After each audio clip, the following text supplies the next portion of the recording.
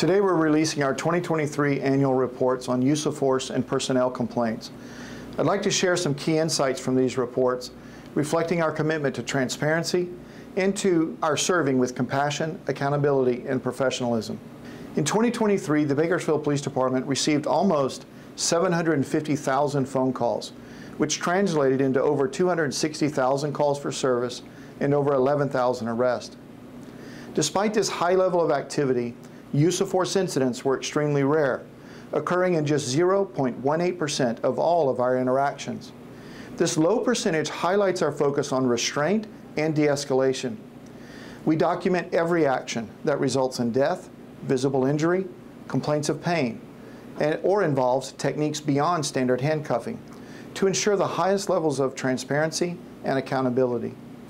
Notably, even when community members were armed, officers managed to de-escalate 94% of these incidents without resorting to deadly force. Most injuries reported were minor, with 97% being minor or less than minor. Our commitment to transparency is further demonstrated by a dedicated data dashboard that tracks use of force and officer-involved shootings. This dashboard provides valuable insight into these incidents and reinforces our dedication to accountability. The dashboard can be found on the police department's website.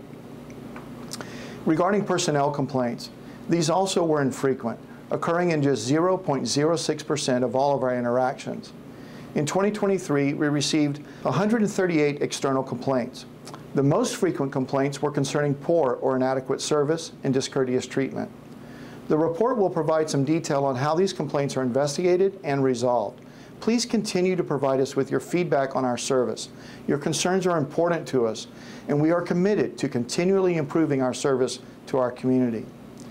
Looking forward, we will continue to prioritize timely responses to your needs and concerns, to share the responsibility of public safety by building trusting partnerships, all while ensuring we deliver the quality of service that you expect from us stay informed, and involved in helping us shape our policies and improve our services.